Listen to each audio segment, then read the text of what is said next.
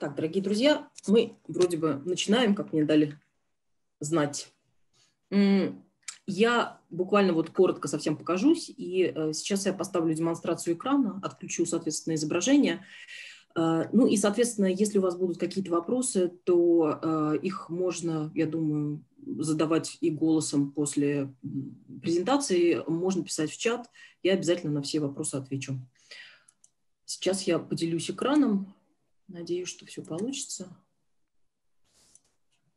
Да. А, начну я с презентации, но через какое-то время я перейду на а, э, э, демонстрацию непосредственно у нас на сайте. Ну, как я уже сказала, э, пока я покажу некоторые теоретические вещи.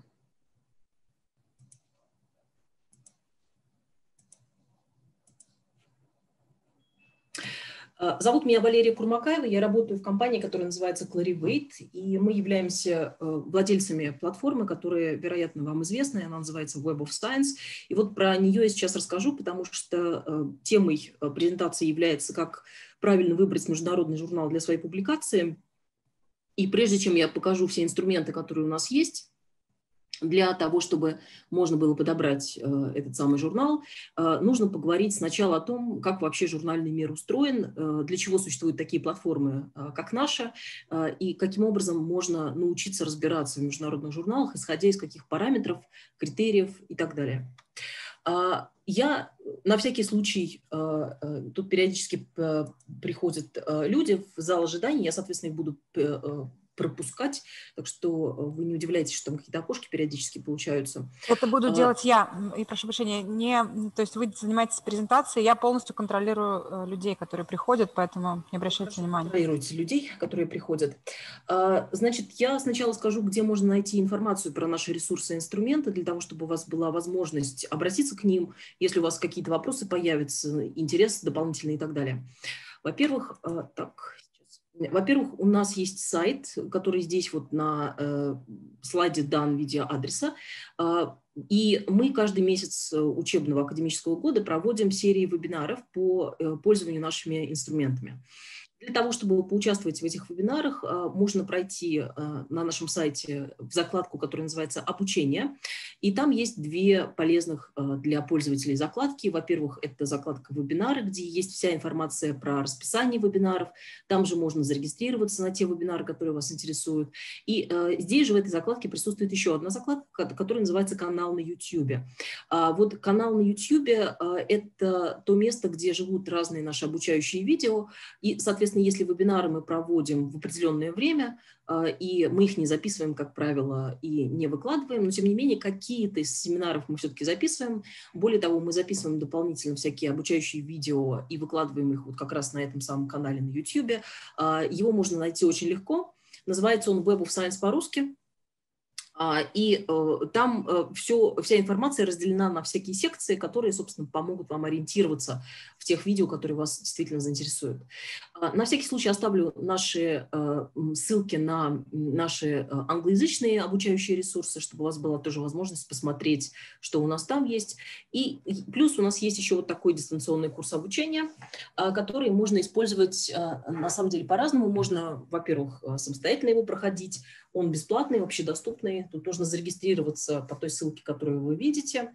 А, и, соответственно, а, дальше вы в том темпе, который вас устраивает, а, проходите этот курс. Он состоит из обучающих видео. Сделан он примерно так же, как сделаны обычно курсы на Корсере, то есть, соответственно, видео плюс какие-то интерактивные упражнения к нему.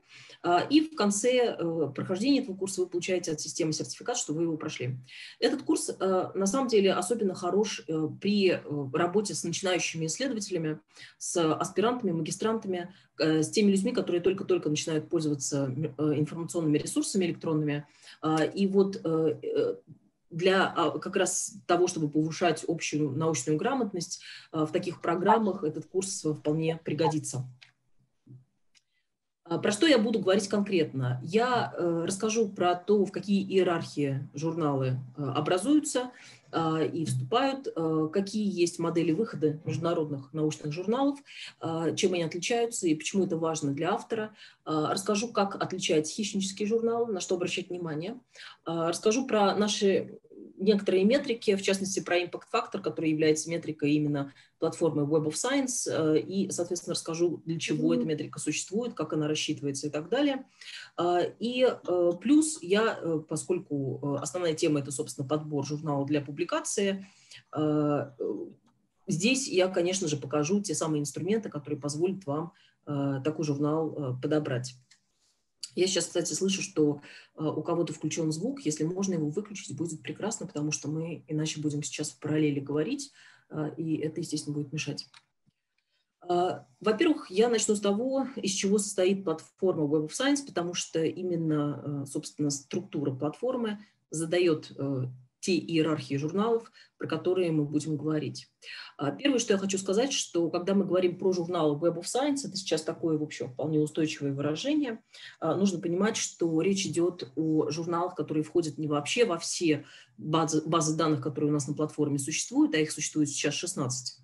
А это э, прежде всего касается тех журналов, которые входят в основную нашу базу данных, которая называется Web of Science Core Collection. Вот здесь она представлена по центру этой диаграммы. А, все остальные базы данных, они сосуществуют на платформе, в них тоже есть различные журналы, и а, в этом смысле э, это огромное количество научной информации.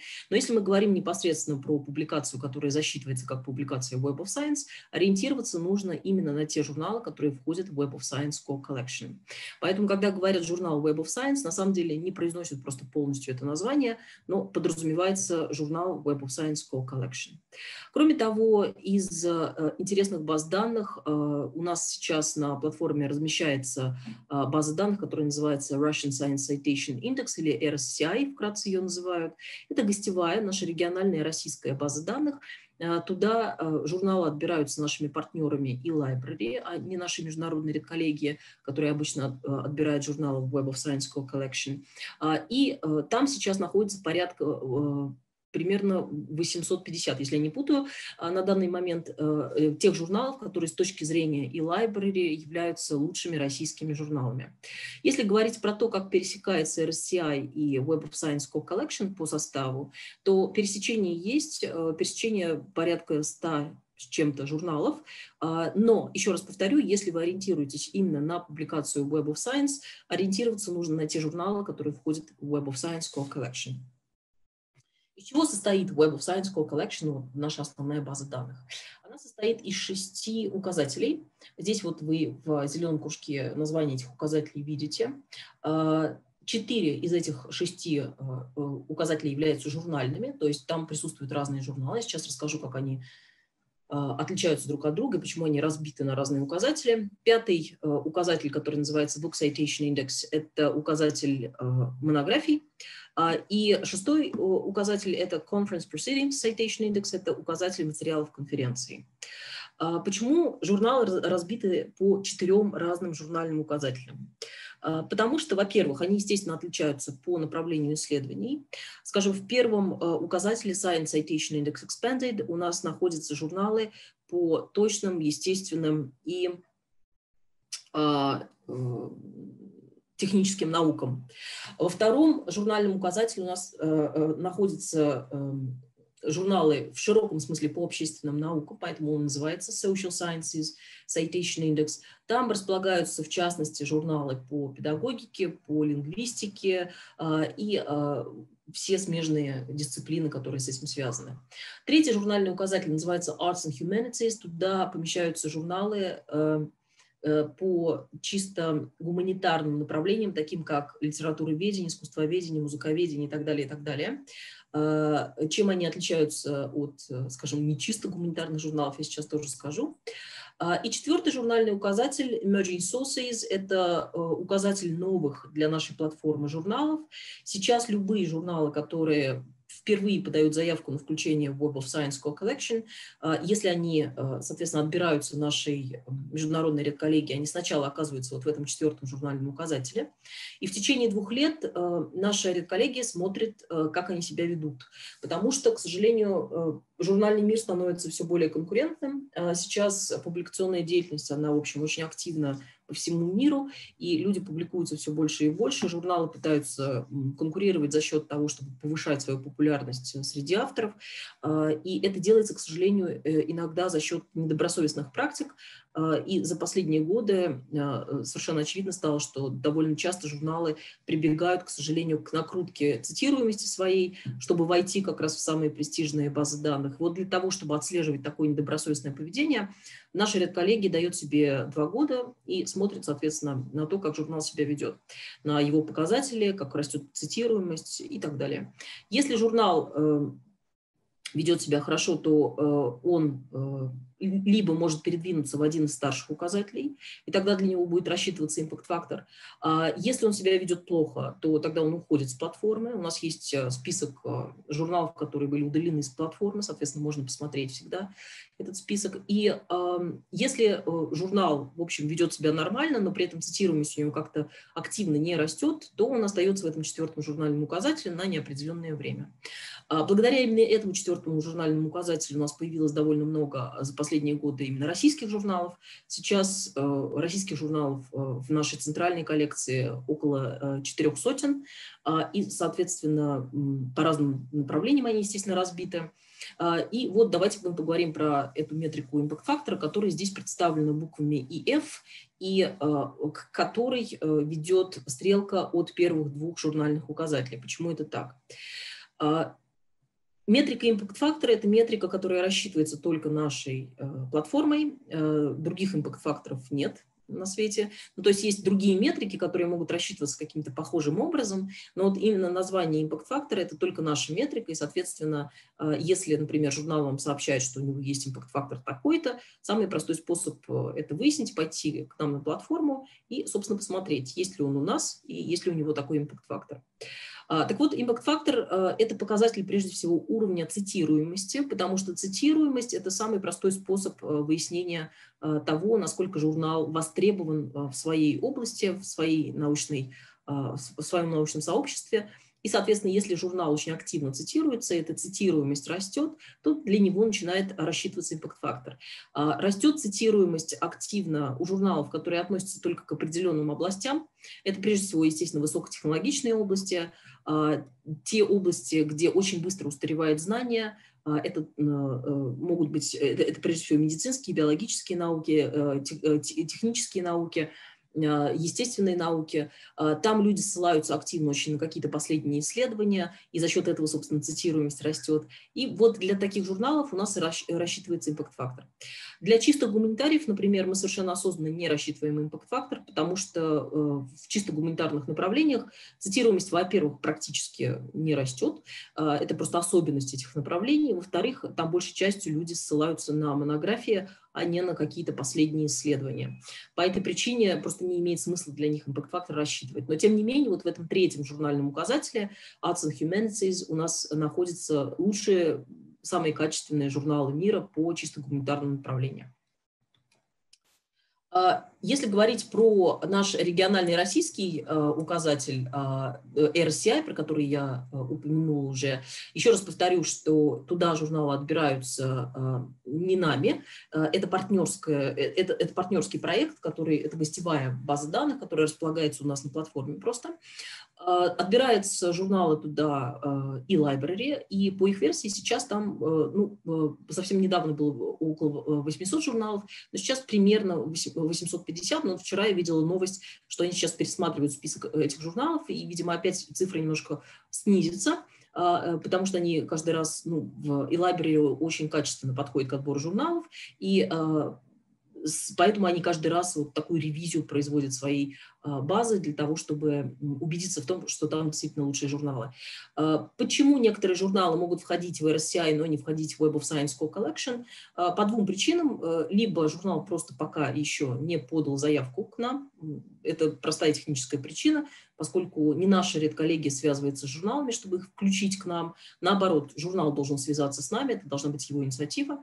А, и а, вторая причина может заключаться в том, что такая заявка была подана, но не прошла отбор нашей редколлегии, потому что у нас есть э, довольно раз, хорошо разработанный э, Э, хорошо разработанная система критериев отбора журналов.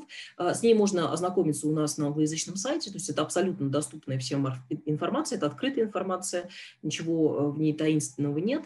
Для того, чтобы журнал, например, э, подал заявку, он должен прочитать все критерии отбора, которые у нас есть на англоязычном сайте, там же подать электронную форму заявки – и, соответственно, дальше эта заявка рассматривается нашей редколлегией. А, из чего эти критерии состоят? Вот здесь вы видите, собственно, схематическое э, изображение всех а, указателей, которые входят в нашу основную базу данных Web of Science Core Collection. Э, как это э, происходит? Для того, чтобы журнал оказался внутри, он должен соответствовать минимум 24 и максимум 28 Э, критериям научного качества. 24 критерия научного качества, которые перечислены у нас на сайте, еще раз повторю, э, включают в себя и технические показатели всякие, ну, например, наличие номера ISSN, э, количество, регулярность выхода журналов и так далее, и так далее. Если журнал считает, что он соответствует вот этим 24 прописанным на сайте критериям, то он подает заявку. Остальные четыре критерия – это критерии влиятельности. Они относятся к тем журналам, которые претендуют на расчет импакт-фактора для себя. Соответственно, поскольку импакт-фактор – это именно критерий востребованности журнала, насколько его читают, насколько а, он интересен в той области, в которой он действует, собственно, то вот, соответственно, если журнал хочет, чтобы для него был рассчитан импакт-фактор, он должен соответствовать вот этим еще дополнительным четырем критериям. Таким образом, максимальное количество критериев 28. Но информация, еще раз повторюсь, э, э, абсолютно открытая, это бесплатная процедура для всех журналов, то есть они ничего не платят, они просто подают заявку. А, что нужно знать авторам про журнал и вообще про журнальный мир, а, прежде чем, собственно, подбирать журнал для себя? Во-первых, очень важная информация в том, как журнал финансирует свою деятельность. Сейчас опять э, появились какие-то дополнительные шумы. Если можно, отключите микрофон, пожалуйста. Да, спасибо. Как журналы отличаются друг от друга э, по тому, как они финансируют свою деятельность? А, на самом деле моделей финансирования немного совсем. А, э, самая традиционная, самая старая модель – это финансирование деятельности журнала через подписку. Она появилась еще в 17 веке, когда появились первые научные журналы в Европе. А, это самая старая, самая понятная модель финансирования. Что это означает для автора?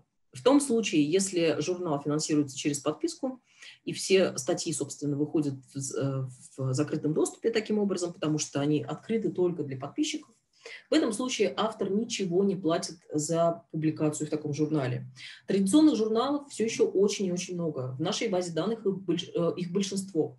Это означает, что если вы, например, э, ищете именно возможность бесплатной публикации, вам нужно искать именно традиционный журнал. И это вовсе не редкость, это абсолютно до сих пор распространенная ситуация. А, но поскольку мы живем в эпоху открытой информации, информация становится все более и более открытой, более того, сейчас появилось уже понятие открытой науки, и а, есть огромное количество проектов а, благотворительных и государственных, которые как раз направлены на то, чтобы открытую науку развивать и печатать, например, результаты исследований исключительно в открытом доступе, то, конечно, открытый доступ развивается сейчас очень активно, и даже традиционные журналы могут, например, приоткрыть часть своего контента, и в этом случае они становятся гибридными, а э, автор, если, он, э, если его статья выходит в открытом доступе в таком журнале, уже будет платить так называемый авторский взнос. Ну и в 100% случаев, практически, крайне редко это не так, но практически 100% э, процентов случаев, если мы имеем дело с журналом открытого доступа, то в этом случае автор платит авторский взнос. Авторские взносы, естественно, сейчас бывают очень большие, и понятно, что это большая проблема для наших авторов. Но, во-первых, я здесь еще раз повторю, что в этом случае не нужно забывать про то, что традиционных журналов все еще очень много – А во-вторых, как правило, сейчас можно найти какие-то гранты или а, помощь может оказать университет, если автор печатается в журнале открытого доступа. В нашей системе такие журналы обозначаются вот таким разомкнутым оранжевым замком, как вы здесь видите. А, и, соответственно, вот теперь мы э, обсудим, чем отличаются научные журналы от хищнических журналов и почему здесь от открытого доступа идет красная стрелка к хищническим журналам. Означает ли это, что э, все э, журналы открытого доступа хищники? Нет, конечно, естественно, нет, но а, все хищнические журналы позиционируют себя как журналы открытого доступа, потому что это самый быстрый и самый простой способ сбора, собственно говоря, денег с авторов, и это нужно понимать. Открытый доступ бывает разного вида, я сейчас подробно про него говорить не буду, просто здесь останется вот этот слайд. А, есть э, самое важное, что нужно здесь помнить, что сейчас э, журналы э, открытого доступа официально, можно найти такой список этих журналов на ресурсе, который называется DOAJ, а, то есть Directory of Open Access Journals. А, это отдельный от нас ресурс, то есть к нам он не имеет никакого отношения, это независимый проект, и сейчас э, очень часто журналы открытого доступа подают заявку на регистрацию туда для того, чтобы как бы попасть в список белых журналов открытого доступа. И, соответственно, э, они там тоже проходят отбор, там тоже вывешены правила и критерии, как, э, к чему журнал должен соответствовать для того, чтобы быть зарегистрированным на этом ресурсе. Ну и, соответственно, дальше журнал входит в список, если, соответственно, принимается его заявка. У нас на, э, на платформе можно выставить э, параметры поиска, если вы ищете э, соответствующий открытый доступ. Это можно сделать прямо в поиске, ну и, соответственно, дальше вы уже будете лучше ориентироваться относительно того, с каким журналом вы имеете дело. Если говорить про журналы открытого доступа, их соотношение у нас на платформе, то вот здесь вы видите это название, это аббревиатура, собственно, соответствующая вот тем четырем журнальным указателям, про которые я говорила. Как вы видите, самое большое количество журналов открытого доступа у нас в четвертом журнальном указателе, в Emerging Sources, то есть в том самом журнальном указателе, а, где сейчас оказываются все новые для нас журналы и проходит там испытательный срок в течение двух лет. А, это объяснимо, почему там больше журналов открытого доступа, потому что э, э, сейчас, как правило, если мы имеем дело с каким-то недавним журналом, который недавно появился, э, журнал предпочитает все-таки быть журналом открытого доступа. Э, ну и, соответственно, в остальных трех журнальных указателях вы вот здесь видите примерную цифру журналов открытого доступа, которые есть там всего, кстати, во всех четырех журнальных указателях, а, э, на одном из предыдущих слайдов там была эта цифра, а, у нас сейчас э, примерно 21,5 тысяч журналов. И примерно половина из них имеют импакт-фактор, а именно 12 800 с хвостиком небольшим. То есть вот цифры такие. Так вот, э, как же отличить хищнический журнал и вообще чем он отличается от нормального журнала? Во-первых, нужно сказать, что хищнический журнал для начала не является научным журналом, потому что научный журнал должен всенепременно обеспечить э, соответствие э, стандарта научного качества. А, таких стандартов э, три в основном. Это проверка на плагиат, это ответственность журнала. Журнал проверяет статьи на плагиат и до публикации, и после. А, по-разному бывает. Если, например, в публикации находится плагиат после того, как она была опубликована, тогда такая публикация ретрагируется. А, более того, журналы э, отвечают, естественно, за организацию рецензирования. Рецензирование – это, пожалуй, самое серьезная эм, часть работы любого научного журнала. Именно так обеспечивается качество науки. А, и здесь, э, если мы имеем дело с хищником, то, скорее всего, он вам пообещает очень быстрое прохождение рецензирования, что на практике означает, что у него просто нет а, э, никакого рецензирования. Ну и хищнические журналы, в отличие от нормальных, не занимаются отбором статей. Они публикуют абсолютно всех, а, потому что они собирают деньги, это понятно. Ну, то есть, таким образом, это просто не журнал в принципе. Более того, еще одна вещь очень важное э, для понимания, а, почему это не журнал. Журналы «Хищники» позиционируют себя как журнал открытого доступа, как я уже сказала, но, как-то ни странно, даже эту задачу они не обеспечивают, потому что они, например, не ведут архивы. А это означает, что через какое-то время статья, да, даже если она там выходит, становится потеряна да, даже у них, а, и таким образом это не открытый доступ, конечно, не так, никакой. Тут возникает вопрос, есть ли какой-то черный список таких журналов, а, которые можно было бы просто иметь под рукой, ну и в случае чего ознакомиться с ним и как-то себя гарантировать, что ли, от встречи с журналом «Хищником». К сожалению, такого списка нет. Попытка введения такого списка была предпринята Джеффри Биллом, который до сих пор благополучно работает в университете Колорадо э, и является библиотекарем-исследователем, так называется его позиция. Он, собственно, по своей работе занимается как раз анализом э, научных журналов. И вот он с 2012 года по 2017 ввел знаменитый список Билла. А вот здесь останется ссылка, соответственно, э, она важна, потому что вот, собственно, Джеффри Билл, так он выглядит. А, э, что он пытался делать? Он как раз пытался составить вот такой черный список хищнических журналов. Но в 2017 году он перестал его вести, потому что он просто не справился с потоком а, судебных исков, которыми его завалили. А, и тут нужно сказать, что э, тут любопытная происходит асимметрия, потому что журналы могут подать иск вот в отношении, например, Джеффри Билла, но в обратную сторону это практически невозможно, потому что для того, чтобы подать иск, прежде всего нужно выяснить, кто за журналом стоит. А вот это уже непростая задача, а, поскольку информация большей частью скрывается. И а, он просто перестал вести этот список, но я рекомендую, тем не менее, найти вот по этой ссылке старый кэшированный вариант этого списка, не обновленный и не обновляемый, потому что до сих пор там можно найти довольно полезную информацию, у меня вот в прошлом году была переписка с человеком, который а, написал э, письмо нам э, с просьбой разобраться, в чем дело. Он послал две статьи на публикацию в некий журнал, который у нас э, индексируется в нашей базе данных, но своих публикаций он там не видит. И вот он интересовался, что же с ним произошло. Ну и мы начали выяснять, и выяснилось, что он на самом деле послал эти публикации не в тот журнал, который индексируется у нас, а в так называемый взломанный журнал, то есть некие мошенники сделали зеркало сайта этого журнала, и, соответственно, э, человек считал, что он направляет э, свои публикации в нормальный журнал, а на самом деле он их отправил э, совершенно непонятно кому, и, естественно, деньги заплатил за это. Так вот, этот журнал значится в этом списке Билла как взломанный, то есть там до сих пор довольно много всякой важной, релевантной информации, которая до сих пор еще не устарела. А, и таким образом имеет смысл его скачать, все-таки иметь под рукой. А, если вот а, анализировать каким-то образом, как можно э, понять, с кем вы имеете дело, вот здесь у меня два скриншота. Вот первый скриншот – и вот второй скриншот. Это скриншоты сайтов журналов. И, соответственно, если говорить про то, а, что, э, на что обращать внимание, когда вы только сайт открываете журнала, то вот сейчас мы про это поговорим. Вот это, например, нормальный э, журнал. Здесь все по делу, здесь понятные закладки, соответственно, здесь ясно, куда идти для того, чтобы а, выяснить контакты журнала, там, прочитать членов редколлегии, вообще, вообще все ясно, и а, тут никаких вопросов не возникает. Вот с этим скриншотом э, первое, что бросается в глаза, во-первых, огромное количество цифр, которые здесь вот прям по центру даются. Это всегда довольно странный э, способ организации информации на сайте, потому что вообще научный журнал не заинтересован в том, чтобы забрасывать вас вот такими какими-то цифровыми параметрами с самого начала. То есть у него может там что-то значиться где-то, вот, например, здесь значится импакт-фактор. Ну, э, у журнала, конечно, может значиться импакт-фактор на его сайте, но явно не в центре экрана.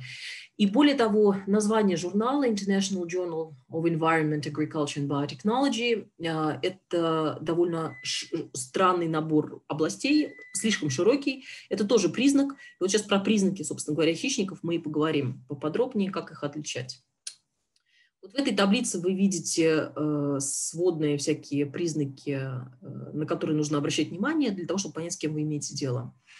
Э, во-первых, э, те признаки, которые здесь выделены красным, это стопроцентные признаки хищнического журнала. Если вам обещается какая-то супер быстрая публикация, это точно совершенно хищник, потому что ни один э, нормальный журнал ничего такого обещать не будет. А, если рецензирование вам обещают тоже пройти очень быстро, это в реальности означает, что рецензирования нет. А, если а, среди членов редколлегии вы видите, например, список из столько имен каких-то без всяких аффилиаций, без контактов и так далее, это странно, потому что вообще-то список редколлегии на сайте журнала а, существует для того, чтобы с людьми можно было легко связаться и, соответственно, было видно, откуда они, где они работают и так далее. Мет, различные метрики и как раз цифры, которые журнал вам дает, это самая простая часть э, всей информации, потому что это легко проверяется, про это мы сейчас поговорим. Э, и э, Остальные признаки, которые здесь есть, это такие суммарные, э, кумулятивные признаки, на которые тоже надо обращать внимание, но каждый по отдельности не обязательно означает, что там журналом что-то не так. Ну, например, да, конечно, э, сайт журнала должен быть а, оформлен грамотно, без ошибок и хорошо, но мы, например, можем иметь дело с каким-то маленьким журналом, у которого нет большого финансирования, и журнал пока не вложился должным образом в разработку сайта. Такое вполне может быть там с маленькими журналами какими-то. В этом случае, конечно, это не обязательно признак того, что это хищник. И более того, бывают хищники, которые хорошо вкладываются как раз в разработку сайта или даже крадут э, сайт, как я уже описывала, и в этом случае вы по самому сайту ничего не заметите. А, обращать внимание нужно на тематику Любой журнал сейчас в современном мире специализируется так или иначе, э, потому что конкуренция огромная. И, соответственно, если журнал ну, например, э, журнал там, пишет у себя на сайте, это сейчас цитата будет, э, журнал публикует исследования по всем направлениям исследований. Такого быть не может, потому что какая-то специализация в обязательном порядке должна быть. А, правила оформления для авторов и архив. У нормального журнала э, очень хорошо разработанные закладки. Там э, подробно должна быть указана вся информация, архив должен быть доступен и так далее. Но если мы говорим э, про эм, оплату, то в нормальных журналах открытого доступа, как правило, все-таки оплата эм, требуется уже после того, как вы проходите рецензирование. Иногда сейчас некоторые журналы взимают какую-то небольшую плату именно за организацию рецензирования, такое бывает, а, и тогда они могут попросить вот эту оплату сразу, но вообще в целом, э, пока не ясно, будут вас публиковать или нет, э, журнал ничего не взимает.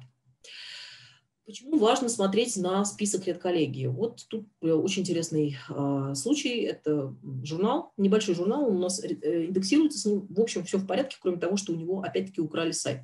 Это довольно частая сейчас практика, к сожалению. И вот если вы будете искать этот журнал просто в сети, то, скорее всего, я уже давно не искала, но одно время ссылка на взломанный сайт была первой ссылкой, которая э, выбрасывалась в поисковике, и, соответственно, вы оказывались на мошенническом сайте таким образом.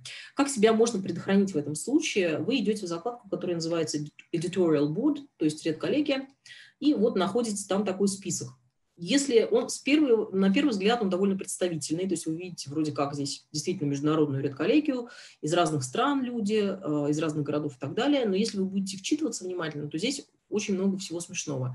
Э, ну, во-первых, обратите внимание на э, имя главного редактора. Значит, главный редактор здесь э, профессор доктор Вьена Франц. Э, это австрийский журнал изначально, и, видимо, тут люди э, так иронизируют по этому поводу, но, естественно, в немецком языке имени Вьена просто не существует. Начнем с этого. А если вы, более того, вглядитесь в остальной список, то вы увидите, что там, как правило, нет никаких аффилиаций вообще. Если вы будете пытаться искать этих людей в сети, вы их не найдете, потому что это фейковые люди, их не существует. И вот самый, конечно, любимый здесь пример – это человек из России, из Новосибирска, а, э, которого зовут, или которую, тут непонятно, Клавия Колчанов.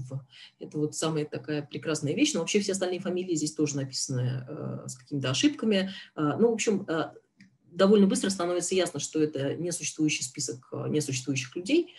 А почему здесь, э, несмотря на то, что сайт взломан, не, перед, э, не, не скопировали просто изначальную редколлегию по одной простой причине? Еще раз повторю, список редколлегий на сайте существует для того, чтобы с этими людьми можно было связаться. Ну и понятно, что мошенники вовсе не заинтересованы в том, чтобы кто-то с ними связывался. С чего начинается эм, контакт с э, хищническим журналом? Он начинается вот с такого письма, отлично мы все это знаем, все мы получали такие письма. Как правило, они даже именные. Вот здесь обращение Dear Researcher. Это, кстати, письмо от того журнала на первом скриншоте, который я показывала. Но обычно там даже стоит имя. А, это все информация, которую такие журналы или не журнал на самом деле, собирают из открытых источников про авторов, ну и потом делают автоматическую рассылку. Во-первых, здесь нужно помнить про то, что ну, нормальный журнал вряд ли будет в принципе делать такую автоматическую рассылку. А, обычно в этом письме сообщается, что мы прочитали вашу статью, нам ужасно понравилось, и мы хотим с вами сотрудничать, поэтому приглашаем вас. И дальше идут какие-то очень такие лестные обещания. Ну, во-первых, обещается, что вот в данном случае статья будет опубликована на следующие сутки или там в течение суток после приема к публикации. Это странно, естественно. Дальше там сообщается, что рецензирование пройдет как можно скорее. Это, опять же, странная очень а, обещаний, которые обычно научные журналы не дают. Дальше идут как раз цифры. Вот давайте мы про них поговорим, потому что с цифрами это, я уже сказала, самый простой способ разобраться. Значит, ну, во-первых, здесь начинается все с номера ISSN. Казалось бы, с этим журналом все в порядке, потому что если вы пойдете э, в поисковик, просто вобьете этот номер, то вы обнаружите этот журнал под этим номером. Но проблема в том, что сам по себе номер ISSN не является гарантией вообще ничего. Получить его крайне просто – а, это может сделать, в общем-то, кто угодно. Вот этот журнал озаботился и получил его. Но дальше никаких гарантий качества это не дает вообще. Дальше журнал сообщает, что у него есть номер DOI. А, это Digital Object Identifier, э, то есть идентификатор э, цифровых объектов. А, DOI у журналов бывает, это нормально. Но вам, как автору, в общем и целом, эта информация совершенно не нужна, потому что вообще-то DOI присваивается, как правило, статьям для того, чтобы их можно было найти в том случае, если они переезжают переезжают в сети из одного домена на другой. Дальше идет как раз информация более четкая, импакт-фактор. В этом случае, если журнал вам говорит, что у него такой-то импакт-фактор, вы идете к нам на платформу, ну, собственно, э, смотрите, есть ли такой журнал э, у нас на платформе, есть ли у него такой импакт-фактор. Это очень просто проверяется. И э, следующая информация совсем смешная, потому что это Thomson Reuters Researcher ID. Researcher ID – это наш идентификатор, действительно так, но это идентификатор э, автора. У журналов Researcher ID не бывает по определению, поэтому это такой довольно забавный здесь ляп. Э, и, конечно, при, ну, если человек хоть немножко понимает про идентификаторы, то это сразу о многом говорит.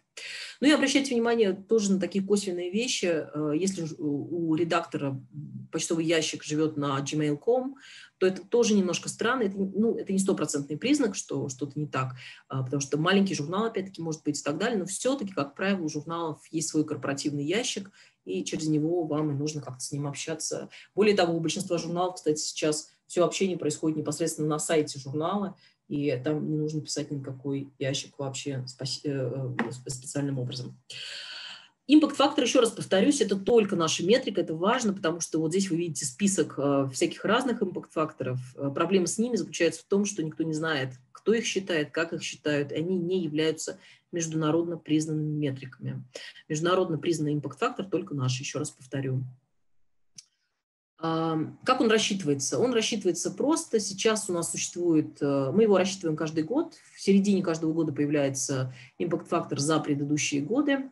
А, он у нас э, рассчитывается, с одной стороны, каждый год. Как я уже сказала, в середине этого года появится э, импакт-фактор за 2020 год, но пока действует все еще за 2019. Классический импакт-фактор двухлетний, потому что формула расчета включает в себя период времени за два года, предшествующий вот году расчета. То есть, если мы хотим получить импакт-фактор за 2019 год, мы берем все цитирования, которые пришли на все публикации в журнале в 2019 году, то есть общую суммарную сумму, а, и делим это на количество статей, а, которые вышли в журнале за предыдущие два года. Почему импакт-фактор стал такой популярной метрикой? Он стал популярной метрикой именно в силу простоты этой формулы, прежде всего. Она, как вы видите, очень просто рассчитывается. Вся информация по всем журналам с импакт-фактором у нас в системе хранится в JCR, в инструменте, про который я сейчас немножко расскажу. Это один из инструментов подбора журнала как раз. И э, импакт-фактор в теории может рассчитываться за любой период времени, то есть не обязательно рассчитывать его за два года, здесь может быть за пять лет и за один год. Э, все эти метрики, кстати, у нас есть в системе. А, два года – это просто минимальный какой-то срок, в течение которого имеет смысл посмотреть, как растет или не растет цитируемость журнала. Если, э, например, мы имеем дело с какой-то областью, где цитируемость по определению медленно растет, ну, скажем, математика, там довольно… Э, математика, с одной стороны, это область, где есть много журналов с импакт-фактором, а с другой стороны, там традиционно маленький импакт-фактор, потому что цитируемость растет крайне медленно. Там тоже есть свои особенности ссылок на статьи, а, из-за которых так происходит. В этом случае можно посмотреть, что происходит с журналом за 5 лет. У нас это тоже в системе есть. И наоборот, если мы имеем дело с каким-то очень высокотехнологичным журналом, где огромное количество ссылок на какие-то последние статьи приходится, и цитируемость очень активно растет, тогда имеет смысл посмотреть на однолетний фактор. А, тогда здесь э, будет, э, там, скажем, количество цитирований в 2019 году, деленное на а, все публикации в этом журнале, там, в 2018 году только. Это все зависит от журнала конкретного. Недостатком импакт-фактора является только один, э, по большому счету, это абсолютная метрика. Это означает, что если мы просто знаем цифру импакт-фактора, то она сама по себе нам мало что скажет, если мы не знаем среднюю цитируемость данной области. И мы не можем сравнивать таким образом журналы из разных областей только по импакт-фактору. Вот, например, у нас есть журнал по математике с импакт-фактором 3 и журнал по биологии с импакт-фактором 3 сам, можем ли мы сказать, что это журналы одинаковой влиятельности? Нет, потому что для этого нам нужно четко знать, как это э, э в конкретной области э, соотносится со средним импакт-фактором. Э, для математиков, например, импакт-фактор 3 – это очень высокий импакт-фактор, для биологов, скажем, импакт-фактор 3 – это очень маленький импакт-фактор. Поэтому для сравнения журналов имеет смысл э, использовать относительную метрику, которая у нас тоже есть. Э, она называется квартиль или квартиль, по-разному ее произносят. А, рассчитывается она очень просто. Она рассчитывается настолько для журналов, у которых есть импакт-фактор. Мы берем все журналы с импакт-фактором, а их у нас 12 800 с хвостиком, напомню. Делим их на 4 четверти, потому что квартиль, собственно, четверть. А, и если журнал относится по уровню цитируемости к первым 25%, значит, это журнал первого квартиля, к вторым 25% второго квартиля и так далее. И вот если мы имеем дело, например, с журналом по математике первого квартиля, а журналом по биологии четвертого квартиля, вот здесь мы уже точно можем сказать, что журнал по математике сильно влиятельнее, чем данный журнал по биологии. По квартилю, таким образом, это самый простой способ э, сравнивать журналы из разных областей. Поэтому, собственно, квартиль сейчас так на слуху. Какие у нас есть инструменты подбора именно журнала конкретно уже под свою публикацию? У нас, у их традиционно четыре. Они немножко отличаются по функционалу, но вот сейчас я про них, собственно, расскажу. А, это прежде всего э, тематический поиск э, у нас в основной нашей базе данных Web of Science Core Collection, потому что там присутствует э, набор фильтров, который позволяет фильтровать этот поиск, и один из этих фильтров называется название изданий, то есть название журналов. Соответственно, если вы отфильтровали результаты поиска так, как вам нужно, то есть вы имеете дело только с тем списком публикаций, которые вас интересуют по своей теме, тогда вы идете в этот фильтр названия изданий и получаете первый э, большой довольно-таки список журналов, где эти публикации были сделаны. Э, и дальше вы уже сравниваете эти журналы друг с другом, и смотрите, как они там отличаются друг от друга, насколько они вам подходят и так далее. Если вас интересует только журнал с импакт-фактором в нашей системе, для этого у нас есть GCR, это Journal Citation Reports. Я сейчас покажу, где он живет на платформе просто э, и как он работает э, быстро, он довольно просто устроен. А, кроме того, если вы хотите подобрать статью, э, точнее журнал уже для готовой статьи, то есть у вас на руках есть какая-то статья, и вы еще пока не поняли, где публиковаться. Для этого у нас есть либо наш библиографический менеджер EndNote Match, то есть, точнее, менеджер называется сам EndNote, а там есть функция, которая называется Match. И это как раз подбор э, журнала э, для своей публикации по заголовку и аннотации вашей статьи. Потому что в заголовке и аннотации содержатся ключевые слова, по которым, собственно, все публикации находятся в таких системах, как наша. Ну и журнал, и э, система вам тогда подбирает до 10 журналов с импакт-фактором, в которых есть публикации с похожим набором ключевых слов. А, и то же самое можно сделать в нашем, пожалуй, самом универсальном инструменте подбора журнала, это мастер Journal List. Вот сейчас я покажу, как это делается, и уже перейду непосредственно на платформу сейчас. Вот так у нас сейчас вы, выглядит платформа. А, значит, первый способ, про который я говорила, так, я сейчас уберу вот это окошко, потому что он очень сильно мешает. Вот э, так выглядит новый интерфейс платформы. Соответственно, если у эм, компьютера есть доступ на платформу. Напомню, что доступ э, к нашей платформе осуществляется через IP-адреса э, организаций, потому что только организации у нас получают доступ, а не отдельные люди. И, соответственно, если вы являетесь сотрудником такой организации, то вот у вас платформа должна выглядеть таким образом. Сначала первый способ подбора журнала, про который я говорила, это просто тематический поиск нашей Web of Science Core Collection. Вот вы здесь выставляете базу данных, которая вас интересует. Нас сейчас интересует Web of Science Core Collection. А, выбираете тип поиска, у нас их довольно много, но, соответственно, мы сейчас возьмем тематический. Это поиск Здесь, кстати, если вы не очень уверены, что именно за тип поиска вы выбираете, справа дается справка, сразу вот описание, про что здесь речь. А, тематический поиск на платформе у нас это поиск по ключевым словам, причем поиски у нас осуществляются только на английском языке на платформе, то есть по английским ключевым словам в э, шапке статьи, в заголовке, аннотации ключевых словах статьи. Ну вот, собственно, если я там, например, э, введу какое-нибудь э, слово, уже, конечно, не хочется ковид вводить, ну, давайте, например, возьмем что-нибудь с образованием связанное, да, с образованием Ой, извините, сказала по-английски и забыла переключить алфавит. Я пишу не полностью слово образование, потому что у нас это отдельная тема, как мы проводим поиски. Я еще раз напомню, что мы проводим вебинары обучающие каждый месяц, поэтому я вас приглашаю на эти вебинары, мы там подробно про это рассказываем. Я сейчас специально на этом останавливаться не буду, но вот эта звездочка – это один из э, способов точного поиска у нас на платформе. И, соответственно, меня интересует э, там образование, одновременно что-нибудь с лингвистикой связанное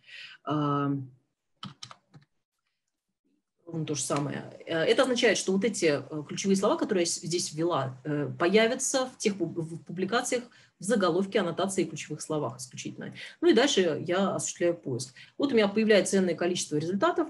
Вот здесь слева живет, собственно, панель уточнения этих результатов. Вы идете вниз, видите все эти фильтры, про которые я говорила.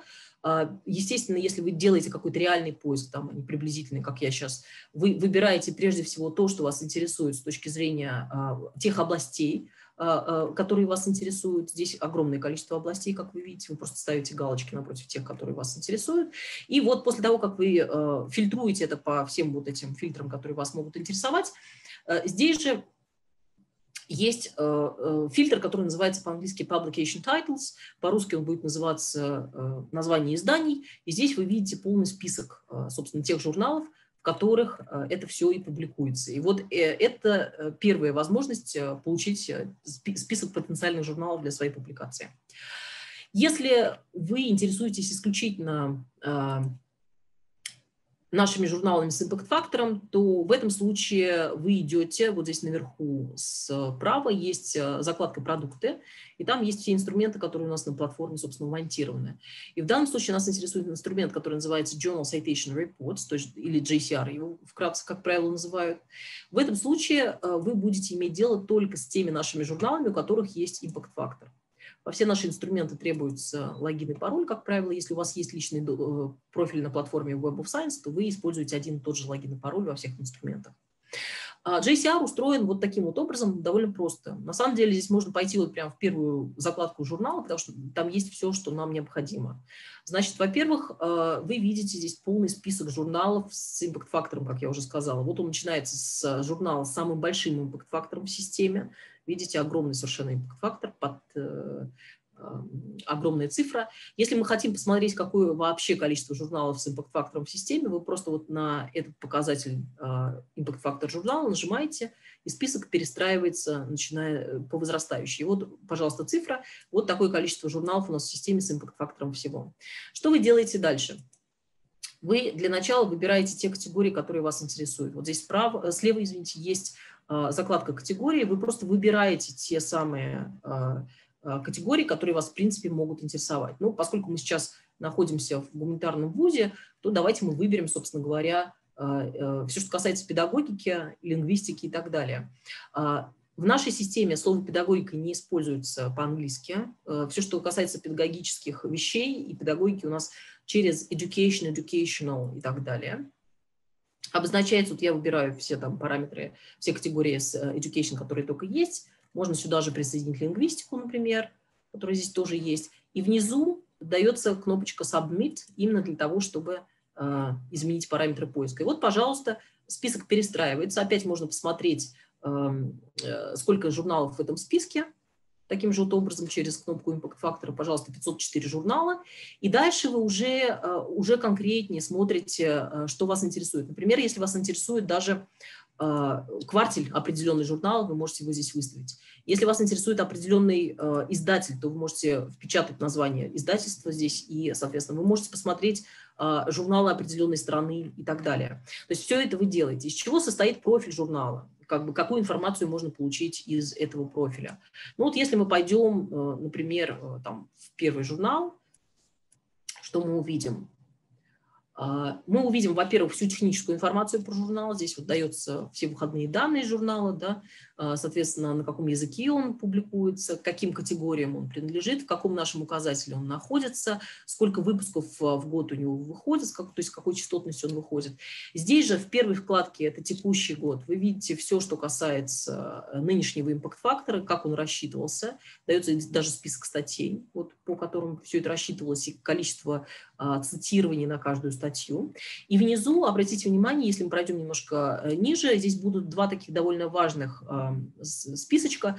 Это, собственно, а, география авторов журнала, из каких они стран, и организации, то есть из каких университетов, э, с какими университетами и организациями эти авторы аффилированы.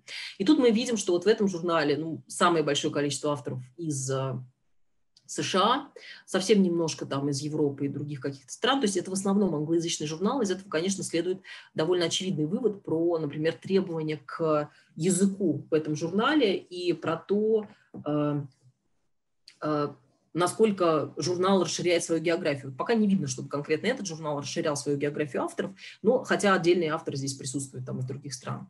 И если вас интересует вся информация про э, индексацию этого журнала за все годы. Здесь есть специальная вкладка «Все годы», собственно, вы туда идете. И вот, пожалуйста, вы видите абсолютно полную информацию про э, индексацию журнала за все годы со всеми метриками, которые мы рассчитываем. У нас сейчас не очень много времени, поэтому я не буду конкретно про метрики долго говорить, но этих метрик здесь действительно много. Вот здесь есть наверху, как вы видите, кнопочка Customize Columns. Э, здесь можно добавить те метрики, которые вас интересуют, просто поставив соответствующий, э, соответствующую галочку напротив соответствующей метрики. Ну и опять мы здесь видим, собственно, импакт-фактор журнала. Это вот наш стандартный двухлетний импакт-фактор. С учетом самоцитирования импакт-фактор пятилетний импакт-фактор, это для тех областей, где медленно растет цитируемость. Наоборот, однолетний импакт-фактор, который у нас называется immediacy индекс, наоборот, для тех областей, где быстро растет цитируемость, ну и так далее. То есть здесь вы можете, в общем, э, всю эту информацию собрать. Это второй способ поиска. И э, третий, четвертый способ я сейчас в отсутствие времени э, объединю, потому что э, там принцип один и тот же. Сейчас я закрою окошко э, JCR чтобы он нам не мешал. А, э, как я уже говорила, если у вас на руках есть статья, и вы пока еще не знаете, собственно, где публиковаться, у вас есть еще два, две возможности. Вы можете либо в нашем э, библиографическом менеджере, менеджере пойти в закладку Match. Сейчас мы туда зайдем, и я покажу, где она находится. У нас про библиографический менеджер EndNote очень подробные вебинары, и у нас на YouTube есть записи вебинаров наших старых поэтому можно всегда ознакомиться. Но вот нас в данном случае интересует только одна закладка, которая так называется Match. Значит, что здесь будет происходить? Вот здесь есть три поля. Сюда вы можете ввести заголовок своей статьи по-английски, аннотацию своей статьи по-английски. Ну, давайте, например, а, выберем какой-нибудь журнал. Какой-нибудь журнал, какой-нибудь журнал. А, без импакт-фактора. Я хочу просто кое-что показать. Вот у нас есть, э, значит, в нашей системе, если название журнала в записи не выделено как гиперссылка, это означает, что у этого журнала нет импакт-фактора. Соответственно, если это гиперссылка, сейчас попробую найти, вот, например, Linguistics and Education. Вот у этого журнала это выделено как гиперссылка, значит, импакт-фактор есть. Если я нажму, то откроется вся информация, собственно, про импакт-фактор, про категории, к которым журнал приписан, про квартель в каждой из этих категорий и так далее.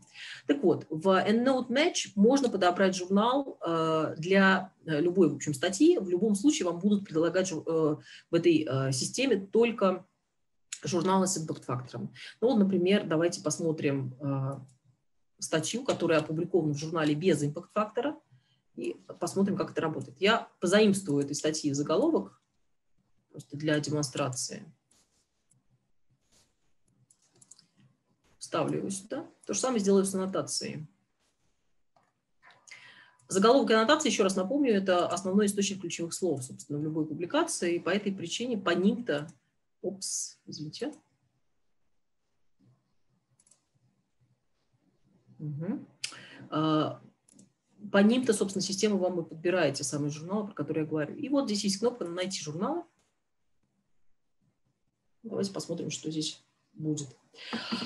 Вот, пожалуйста, максимальное количество журналов, которые система вам здесь предложит, это 10. Это вот максимальное она и нашла. Иногда предлагает меньше. Значит, из чего это все состоит? Вот список журналов дается здесь. Можно просто открыть, каждый по отдельности – В каждой из, из этих записей есть, во-первых, название журнала, вот те ключевые слова, по которым, соответственно, вот в данном случае видно, что вот в этот журнал ходить не надо, потому что это явно недостаточное совпадение. Modern Multicultural Society, вот прям совсем недостаточное. Но тем более это оптика, да, что уж совсем удивительно. Вот, но, например, вот здесь уже гораздо лучше, и тут уже видно, что совпадений явно больше. А, и дальше вы смотрите просто, ну, насколько вам журнал этот интересен, совпадает ли это по тем а, а, вот в данном случае подборка довольно странная получилась, потому что там в ключевых словах явно присутствует э, что-то оптическое. И по этой причине, как вы видите, вот получилась вот такая история. Что странно, безусловно. Но если, э, это, это как раз, кстати, отдельная тема про то, как важно указывать правильные ключевые слова в своих э, публикациях для того, чтобы подбирались правильные журналы и публикации. Но есть еще один способ э, помимо, вот, собственно, Node Match, э, который тоже у нас на платформе присутствует, но можно этим способом пользоваться и вне платформы, он называется Master Journal List.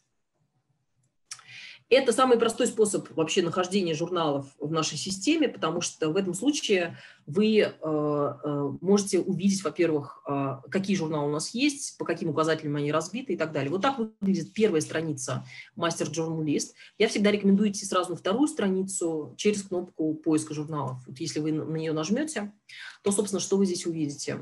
Ну, во-первых, вот такой подбор журналов, который мы сейчас делали в EndNote, можно делать и здесь. Он здесь называется Match Manuscript, и в этом случае вам будет подбираться не 10 журналов с impact-фактором, а вообще все журналы в системе, у которых есть какие-то похожие наборы а, ключевых слов в публикациях, по, и дальше вы уже смотрите, в какие указатели а, эти журналы входят и так далее. Но почему я предлагала сразу пойти на вторую страницу? Потому что здесь есть система фильтров, и, например, сразу, если вас интересует только журнал Web of Science Core Collection, пожалуйста, вы выбираете те указатели, которые вас интересуют. Да? Вот сейчас, например, видно, что здесь есть всего почти там, 25 тысяч журналов. Это во всех наших базах данных. Если нас интересуют журналы только Web of Science Core Collection, то мы ставим здесь галочки. А, и число сразу меняется, это примерно 21,5 тысяч журналов. Э, дальше вы выбираете те категории, которые вас интересуют. А, здесь есть подсказки, можно выбирать э, много категорий сразу. Э, если вас интересует журнал с открытого доступа, то вы выбираете их и наоборот. Если журнал открытого доступа в системе, то у него напротив названия есть вот такой оранжевый значок здесь. Вы выбираете страну, язык и так далее. То есть вы можете выставить здесь довольно большое количество фильтров, и в этом смысле это самый, как я уже сказала, удобный поиск, э, способ а, поиска журнала в нашей системе и подбора. И что особенно важно, зайдя в профиль любого журнала, вы это можете сделать, если вы зарегистрированы либо на сайте Journal List, либо, опять-таки, через логин и пароль а, вашего личного профиля на платформе Web of Science то там э, есть, во-первых, всякая информация по журналу, и очень важно, здесь есть прямой линк на сайт этого журнала, то есть вы не ошибетесь и окажетесь непосредственно на сайте того журнала, который вас заинтересовал. Ну вот, пожалуй, все. На этом я остановлюсь. Если есть какие-то вопросы, то я с радостью отвечу. Сейчас я э, посмотрю, есть ли, собственно говоря,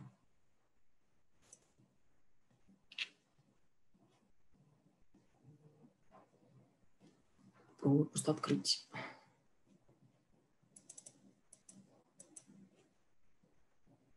Можно, кстати, вопросы задавать голосом, поскольку, э, может быть, это будет самый простой способ. Есть один вопрос только угу. от одного из участников, который просил переслать презентацию а, ей на почту. Я записала все, если это будет возможно, я перешлю. Да, конечно, я э, презентацию в обязательном порядке вам просто э, отошлю, и вы ее можете распространять, то есть ее может получить кто угодно. Хорошо, спасибо.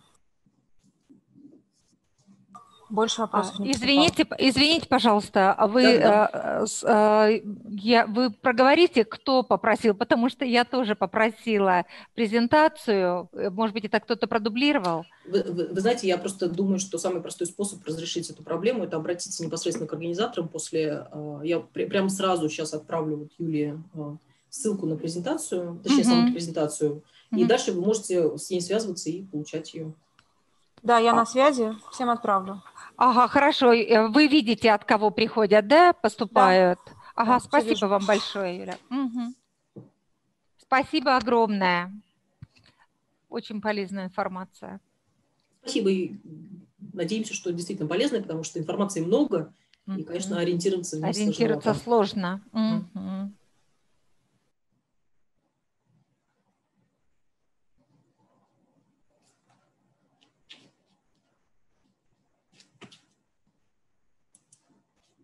Так, есть ли еще какие-то вопросы? Сейчас я в чат загляну все-таки на всякий случай.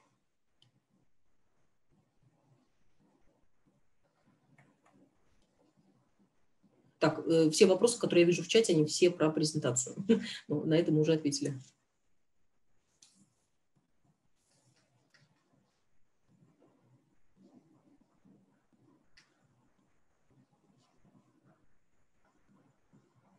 Uh, угу. Да, я, так понимаю, я так понимаю, что практически каждый решил заполучить вашу презентацию.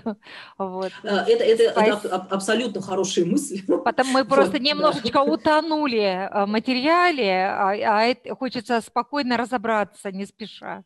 Я вам напомню еще про наши вебинары, как обычно в таких случаях мы делаем, потому что мы А ссылочку можно на вебинар тогда а, сразу? Презентации, в презентации все это есть. Там все ссылки даются, Прекрасно. все ресурсы наши. Угу. есть, вообще вся информация, про которую я говорила, она есть в презентации. Чудесно, спасибо.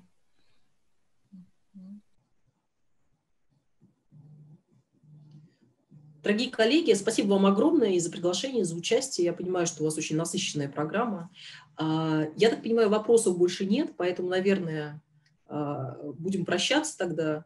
А, всем хорошего дня. Сейчас я прям пришлю Юле презентацию, и, соответственно, тогда у вас вся эта информация появится. Ну и там, если будут какие-то вопросы, вы к нам всегда обращайтесь, потому что мы э, с радостью реагируем. Все, спасибо еще раз. И я, наверное, большое. буду отключаться. Угу. Да, спасибо. Спасибо. Все, до свидания. До свидания. Большое. На сегодня работа завершена, да, конференция? Да. Да? Угу. Спасибо большое, всего хорошего. До свидания. Спасибо. Спасибо, до свидания.